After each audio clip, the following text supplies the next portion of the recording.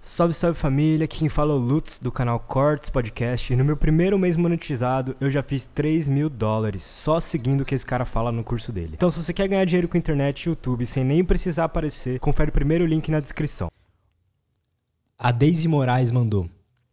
Quais os primeiros sinais físicos de burnout e depressão? A gente falou bastante do burnout, mas se quiser falar sobre depressão. Então, depressão é fadiga, cansaço, aquela sensação de um sono não restaurador, por exemplo é, aumento ou diminuição de apetite, aumento ou diminuição de sono, pode ser uma hipersônia, um excesso de sono. Eu preciso dormir mais do que nove horas para me sentir bem, e antes eu dormia sete, ficava ok. É, perda de libido. É, então, são alguns sintomas é, físicos de depressão que no burnout, cara, vai ter o grosso, vai ser a mesma coisa. Então, é, tem depressões, por exemplo, uma depressão de chumbo, você sente como se tivesse um, um, um chumbo amarrado nos seus membros. Caraca. Isso é uma característica de uma depressão atípica que pode é, já fazer levantar a orelha do psiquiatra em relação à possibilidade de espectro bipolar. Então, tem algumas características aí que, que dão umas minúcias, assim, mas é, é questão de energia, libido, apetite e sono. É nesses quatro aí que pega mais. E sintomas não sei nem se tá certo de sintomas mentais, assim. Sim, que sintomas que cognitivos. O que, que tá rolando na cabeça da pessoa?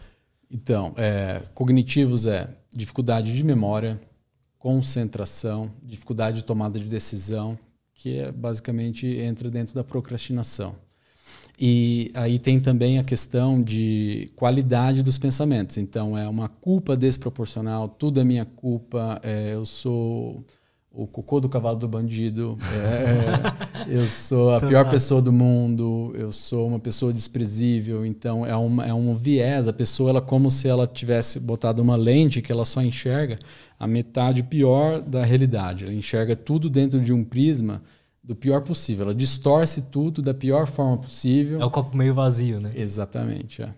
E ela não é incapaz mesmo, é uma cegueira, é uma cegueira dimensional, digamos assim, é, que só com tratamento que melhora mesmo. E se deixar a pessoa é, sem nada, é uma depressão uni, unipolar que é normal, ela dura aí uns seis meses e melhora. Só que isso deixa sequelas, isso detona os neurônios. Então aumenta o cortisol, você tem uma atrofia ao longo do tempo é maior, tudo isso tem consequências metabólicas também e, e N coisas do tipo, né? Aí entra num dilema assim, ah, mas a, a, ditadura da felicidade, você nunca vai poder ficar triste. Então você tem que sempre dosar a proporção disso. Mas a, a priori, né, uma depressão seria é, uma tristeza na maior parte do tempo e ou uma perda de prazer nas coisas que antes prazerosas.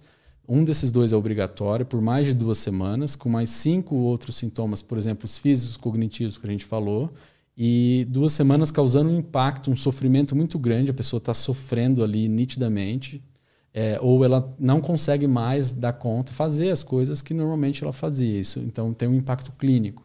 Isso é uma depressão que precisa ser tratada. Você pode tratar só com atividade física, é uma possibilidade, tem estudos comprovando que funcionam.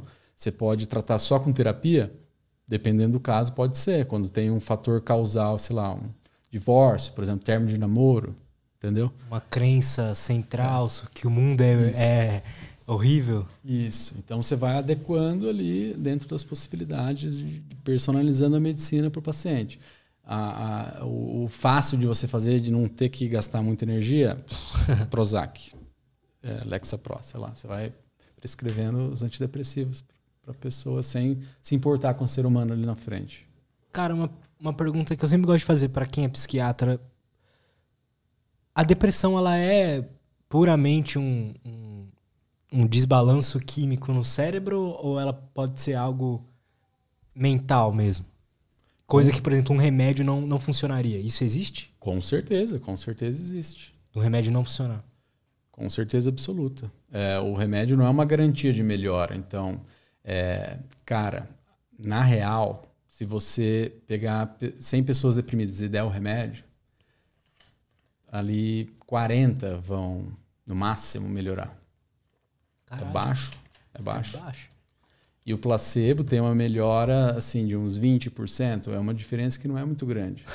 Então, eu, eu gosto de olhar para o placebo como uma, uma potencialidade é, de de cura ou de melhor ou de influência em relação à própria saúde física e mental do próprio ser humano. Isso é muito pouco explorado porque não tem interesse econômico.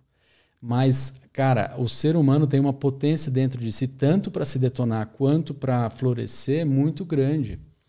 E a gente está engatinhando em extrair essas potências. A espiritualidade é uma das maneiras. Os oito pilares de saúde mental são maneiras de a gente extrair essas potências do paciente em prol da própria saúde dele, entendeu? Mas é tudo dentro de um protagonismo. Você precisa parar de culpar o mundo por ele ser tal como ele é, ou como você enxerga, e focar em que, que você pode fazer a respeito. Tudo é na, nessa questão da responsabilidade, sair do vitimismo, cara. Não tem como sair dessa. Assim. É uma notícia é, não muito agradável para muita gente. Né? Tem muita gente ganhando dinheiro por aí num discurso assim, não é culpa sua, é, e falando tudo que você quer ouvir.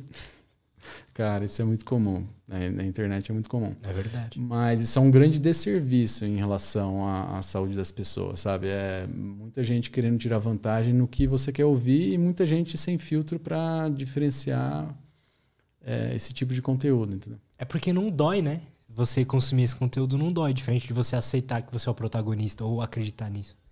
É, então é a mesma ah, coisa ah, não dói um pouco, né? Você trazer essa responsabilidade para você. Lógico que dói. Nossa senhora, é extremamente desconfortável. Você, você assumir a, a responsabilidade pelas coisas não estarem como você gostaria, você não está bem. Nossa, isso é uma ferida narcísica absurda, assim, da, sua, da nossa impotência, da, no, da nossa falibilidade, é, da nossa humanidade, da nossa imperfeição. É, além de, puta merda, que trabalho gigantesco que vai sobrar para mim isso aqui. Não tem como eu botar na de ninguém, né? É comigo mesmo. Pode acontecer o contrário também, me corrija se eu estiver errado, da pessoa acreditar que tudo. Ela traz esse protagonismo, mas tudo é problema dela. Tipo assim, ah, até Sim. coisa que ela não controla. É, é, isso é muito comum na depressão. Então, é essa culpa desproporcional. É, tem uma diferença entre culpa e responsabilidade. Então, uma culpa, ah, ela está mais focada no, na inconformação da vaidade de ter falhado. Ela está olhando para o passado. A culpa olha para o passado, vamos botar assim. Entendi. A responsabilidade, ela não olha no retrovisor, ela olha para frente. Então, por pior que tenha sido a cagada que eu fiz ou deixei de fazer, o que, que, que, que, eu, que, que eu tenho que fazer agora? E olha para frente, não olha para trás. Então, essa é a grande diferença. Então, na depressão, Saquei é, é, não é responsabilidade, é culpa. A pessoa está mais ali é, vaida, é, com a vaidade ferida de, de não ser perfeito o suficiente, né? do que interessada no que pode ser feito daqui em diante. Então é a direção que a pessoa está olhando que, que muda o cenário. Cara, legal isso, gostei. Entendi melhor como funciona essa parte.